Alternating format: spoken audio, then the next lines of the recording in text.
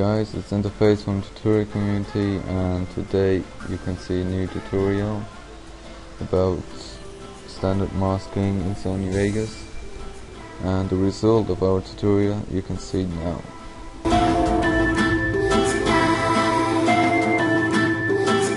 now first of all you need a smooth where you want to mask.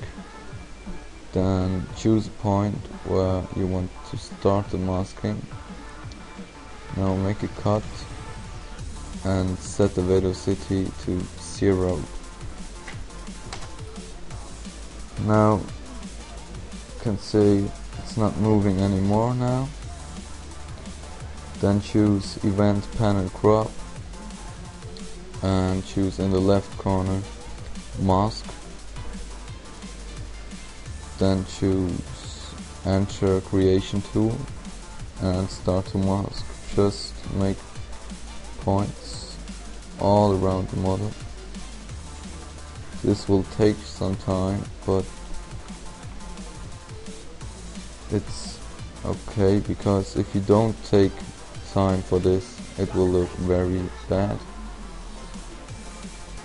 I will make it a little bit faster because I don't want to make this tutorial too long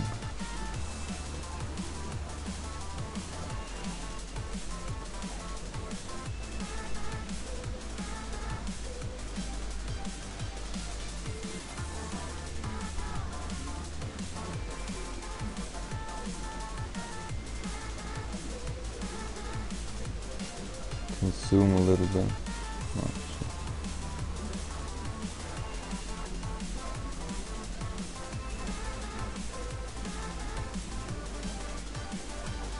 Don't do it really clear, so then you will see the map around and this will not look good. So don't do it as fast as me.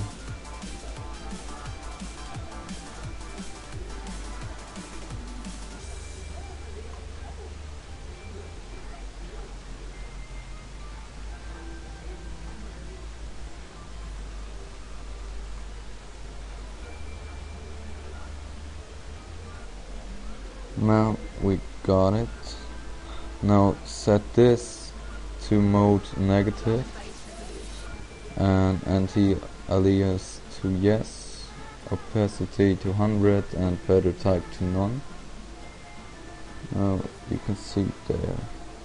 Now copy this track and paste it in the second one.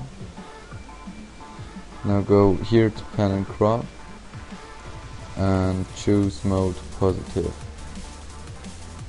Now it will look normal, but if you put in TV simulator, the first one, you can see it's only the background. Now set the this to zero, interfacing to zero, this all to one, one, gun phasing, you can make it custom. Doesn't, nah, don't care really. Maybe 2.5. This you can choose if you want it blue or not. I will leave it as blue. And static, just leave it to zero. Detail zoom, I would put it to 2.5 now you can see it looks quite well. Maybe the scan phasing a little bit lower. So yeah it looks quite nice. Now you can see when you put on the colors it will look even better. So it's brighter